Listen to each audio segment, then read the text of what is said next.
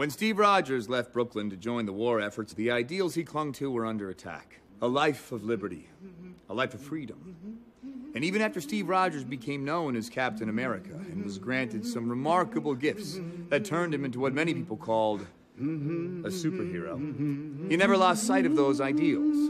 Because those were the things that made Steve a hero. Not his powers, but it was his willingness to fight for what he believed in and for the rights, the rights of every man, woman, and child in this country and around the world to live free, free from tyranny and free from oppression. The truth is marching on.